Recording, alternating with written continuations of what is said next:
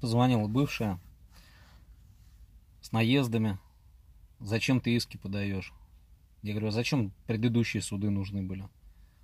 Я ж просил тебя в судах, давай все это прекратим, давай, блин, все по-хорошему, по-человечески. Нет, шашкой вперед в бой. Бой проиграла. Теперь я иски подаю. Она говорит, прекрати, оставь нас в покое. Я говорю, ты, ты мне не нужна, мне нужен только мой ребенок. Это не твой ребенок. Уже в очередной раз. Я говорю, обоснуй. Она говорит, ты не отец ребенка. Я говорю, ну если это так, то мы полностью обнуляемся после теста ДНК. Давай ДНК сдавать. Она говорит, давай. Я докажу, что ты не отец.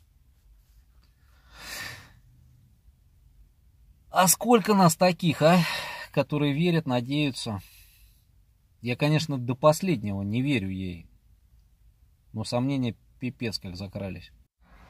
Поддержите предыдущий ролик, где обращаюсь к властям об обязательном законе теста ДНК при рождении ребенка в роддоме. Он нужен, блин. Надо сбрасывать олени рога прям там, в роддоме сразу.